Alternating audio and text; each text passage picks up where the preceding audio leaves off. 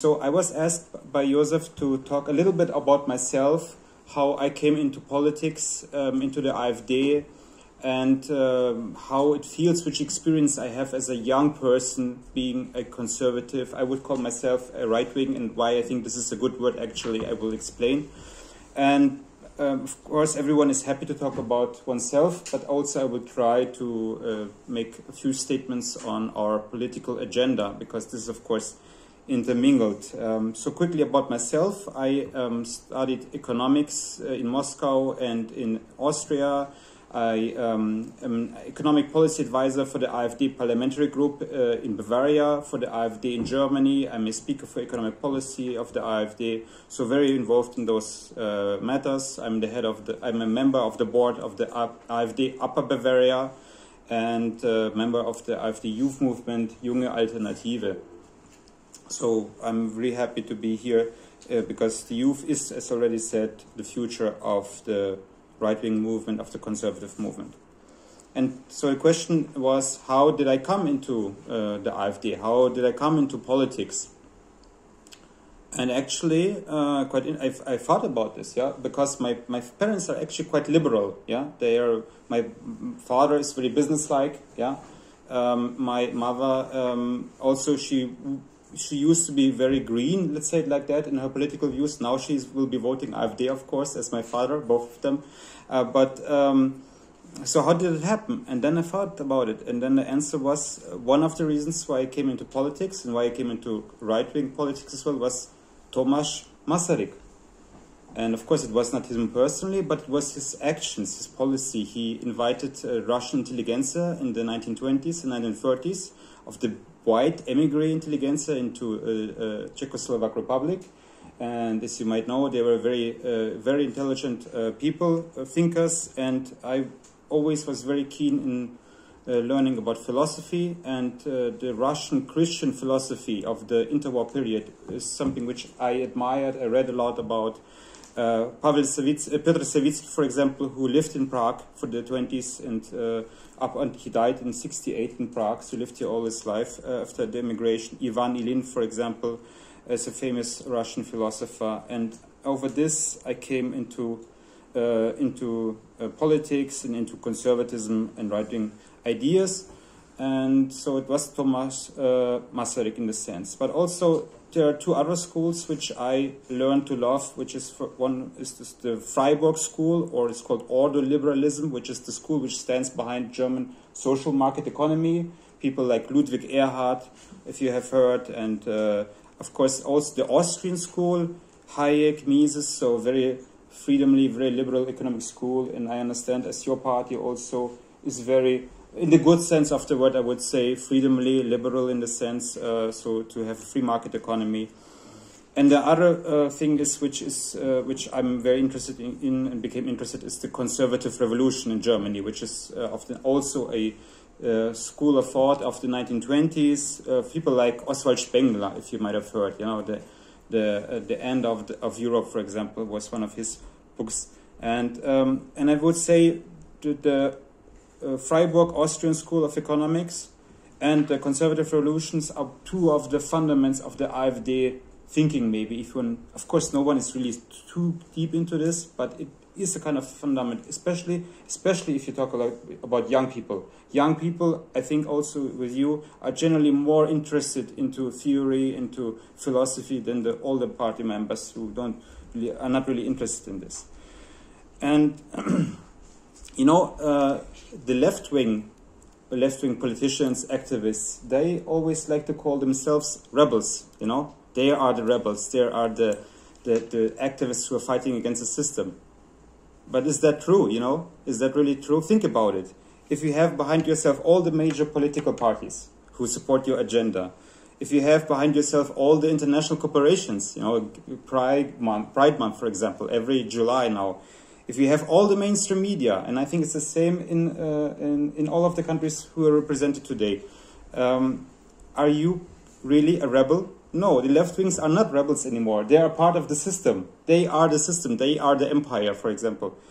Uh, they get the support from above, pushing the gender ideology, pushing the climate ideology, and pushing, in a sense, the socialist ideology and agenda. And we, we the youth, we the right wing and freedomly youth, we are the new rebels. And think about it, it's crazy because uh, we, we are the freedom fighters. And uh, we uh, support ideas which are now thought about to be not normal, to be rebellish. You know, when, uh, when people 20, 30, 40, 50 years ago said, uh, I support the idea of having a family, that a man is a man and a woman is a woman, that I want to have children, that I want to have a single, oh, that I want to have a one home for my family, that I want to drive a car with an internal combustion engine. That was something uh, really uh, boring. Now, it's if you say that, you are the crazy one, you are the rebel. And actually, I'm very, very proud about this, that we are fighting for the right things and we are rebels for this. And I, I, don't know, I would like to ask you, do you feel yourselves as, uh, as prolongers, people who continue the tradition of rebellion? Are you the new Hussites? Are you moving forward the flame of the Prague Spring? Are you the prolongers of the Velvet Revolution? I think it's something very beautiful that you have in your history, and I think you are the ones who are fighting against this new socialism. I don't know. That's what I'm asking you. I am for sure that the AfD in Germany is uh, seeing itself and is doing the prolonging and putting bringing into the future the idea of the of the liberal patriotic revolution of 1848, of the uh, revolution of 1989, and even of the um, 20th July attack on Hitler. You know, and we are having every 20th of July. If you had a Valkyrie, maybe you saw the film about it uh, um, against Hitler, this attack of German patriots. And uh, we, we support these ideas, we celebrate them. And last week I had the honor to be in Prague, and uh, I'm a Christian Orthodox, and I went to the uh, Orthodox church, and then only afterwards I found out, and I was very happy that it was the church here in Prague where your freedom fighters, Josef uh, Babic, uh, Gabčík and Jan Kubiš, fought to the last bullet for the freedom of uh, the Czech Republic. And I didn't know that. That was at this church. It was a coincidence, as only God can make coincidence. And uh, I was very happy to commemorate them there. Because all the patriots, as we are, we can support, and we only we truly support each other's cultural identity, freedom, and sovereignty. So in 2021, quite late actually, uh, I entered into the AfD. Uh, 2013, uh, it was founded. So your party was founded 2015, right?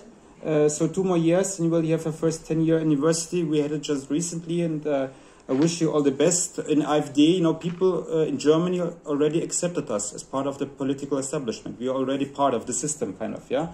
Of course, we are the the priors. No one will want to talk with us, and so on. But still in the back of their minds, people have already accepted us. And the same will happen with SPD. And as I heard, it even happened more so. So in 2021, I became a party member. And uh, the, the question was, why did I become a party member?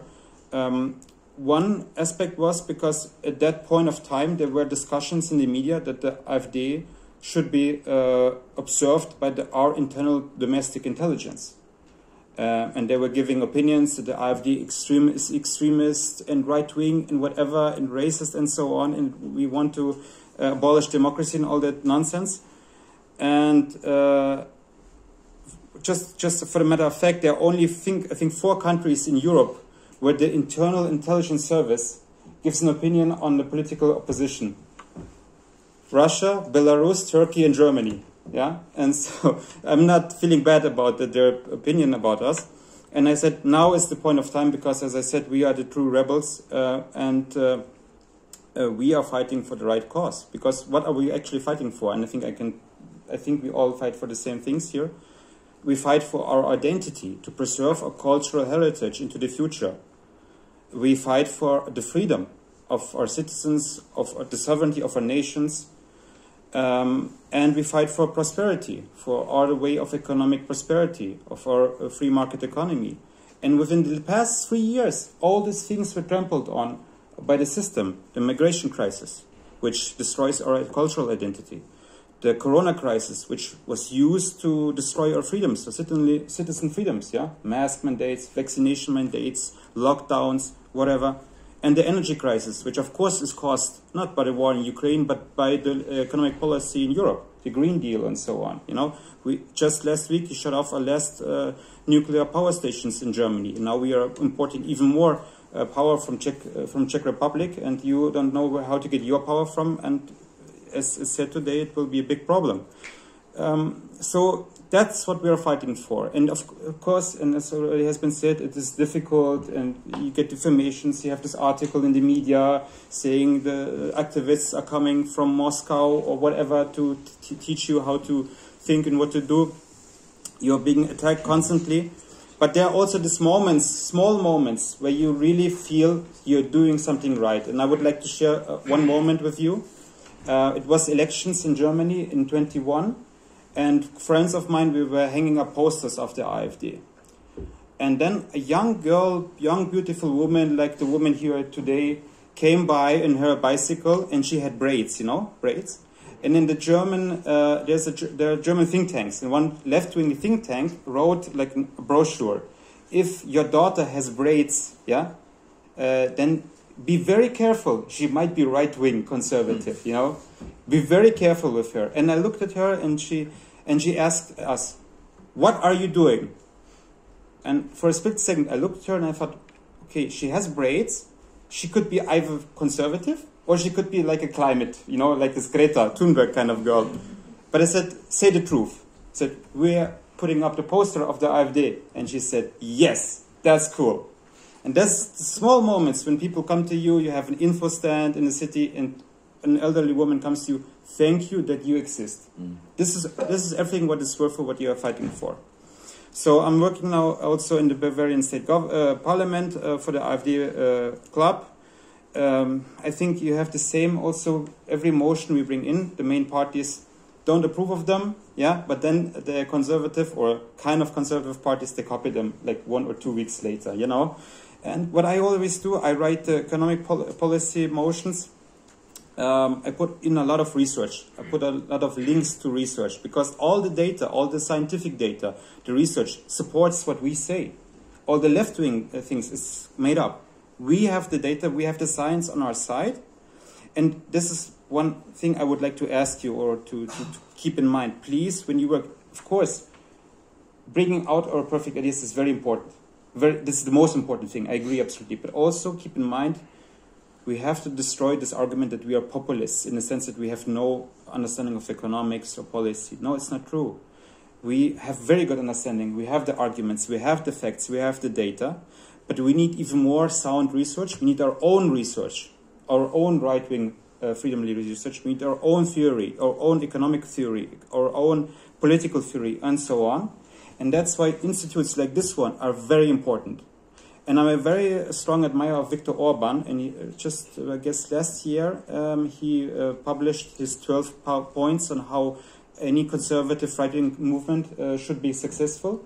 And one of those 12 points is that institutions, institutions, institutions, because politicians come and go, but institutions remain. So this is my advice. Please build up institutions. We have our own institution, the Desiderius Erasmus Stiftung, my own MIWI Institute for Economic Policy Advice you need sound economic policy, you need sound theory, you need sound research. So this is very important and it should be supported.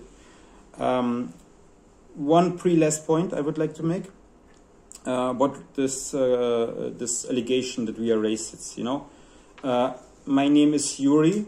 It's a very Bavarian name, of course. Yeah, I'm always saying that uh, when I'm presenting myself. Um, so of course people in the AfD make jokes, you know, everyone makes jokes and so on. Yeah, where, where, when do we get the money from Putin and so on? Yeah, and I say back, just wait a little bit, just one, one more month, we'll get it and so on, you know. But jokes aside, and never, never, ever from the right wing, uh, from the AfD, I was uh, being like, uh, people were saying something bad to me. And only all the racist comments about my identity, came from the left wing side, from the Greens, from the climate activists. They say, oh, well, your name is Yuri, go back to Russia, you know?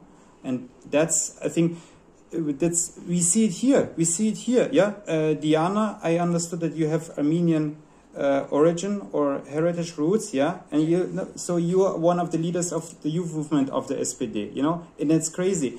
Your leader, Tomio Okamura, I read it. I guess I read it in the article which was written about uh, this conference. Yeah, he's being called the samurai of Prague, and I told it to my friends in the in, in the parliamentary group. They were also like co-workers, young people. Many of them are in the youth movement. They said, you know, he's called the samurai of Prague, and they all said that's fucking cool. So you need to own this brand. You need to own it and be proud, proud of it and proud of this brand. Of course, all this talks about that we are racist is absolute nonsense. It's, it's crazy. Yeah, don't don't even listen to it. Um, uh, by the way, uh, just recently we had this. We have, of course, we support uh, a, a, technology open mobility mix. So if you want to drive an e-car, please buy one, but no subsidies. If you want to buy an internal combustion engine, of course, don't prohibit it. Yeah, we say everything is uh, possible. And then we had this huge poster which is written on it AfD, and a free ride for diesel engines. And I had to uh, move it from the office building in the parliament to my own office building, which is like 200 meters. And there's a taxi stand. And I don't know how it's in your country. I guess it's quite similar. Uh, the taxi drivers are usually not uh, autochthonic ethnicity. Yeah, in Germany, they are Turkish, uh, Egypt people, and so on. So mostly Muslim people. And I went with this big, big poster and I couldn't believe it. All the taxi drivers were going like this. Yes. So the people, they want us. They need us, the people. And we have to be more proud. We have to be going more out to them and show them they really want us. And uh, one last word about the youth. You know, again, I'm, I'm talking a little bit about uh, how it is going on in our party. Maybe you can correlate, maybe not. Uh, in our party, in the AfD, we kind of sort of have this divide uh, of those which are allegedly more liberal and uh, those which are allegedly more nationalistic, which is not true. Yeah, it's more about like political, uh, personal, uh, you know, um, loyalties, not about real ideology. They're all quite similar. Uh, but this is kind of still true, yeah. Um, and I would call them the old guard, the conservatives. They are conservatives because they have an old understanding of the world of the 1980s and they want to go back to this. They want to conserve. Yeah? And I think the word conservatives is for us not really applicable because we are not conservatives. We don't want to conserve something in the past. We want to bring this, the traditions, the culture into the future. So we are right wing. Yeah? We have this flame we bring in the future. And all the young people in the AfD, if they are more from this one wing or the other wing, we all understand each other perfectly. So I'm more a liberal kind of person. But I have many friends who are more nationalistic. We have no problems at all. We all work together and we know and we see we have this unity. So this is something I, I, I need to give to you. The, the younger generation in the SPD is the future of the party. And finally, what we need uh, is, of course, one thing for the right-wing movement. We all need to work together. Is that we need to create a vision of the future. You know, the, why is the climate movement so successful? Not only because they get billions of billions of dollars from Bill Clinton Foundation and whatever, but or um, what's his wife's name again, Hillary Clinton Foundation, but because also they have this very enticing idea of an utopia they're building. Yeah, they're nothing less than saving the planet. It's a big idea, I guess. Yeah, it's a big uh, ideology, but everyone can participate. If you don't eat meat, if you don't fly, then you save the planet. What do we have? Do we, so if you say we want to go back to the uh, Czech Republic of the 1990s, that's not attractive. If we want to go back to Germany of the 1980s, that's not attractive to the young people. We need a new vision. What is our vision for a future and what is our right-wing vision for a uh, Europe of fatherlands? And we need to discuss this and we need to give our common vision. Of course, we need to preserve our national identities, our cultural identities, but we need to, need to have one common approach toward it. And this is uh, the final like word I'd like to give with you. Look at this panel. You are not alone. You are not alone. We are a very strong movement all across Europe, all across the West, all across the world of patriots. We are together, and I am certain, I am certain that within 10 years we will be the ruling parties in Europe and the future of Europe will be uh, right wing, will be freedom, will be our national parties. Thank you.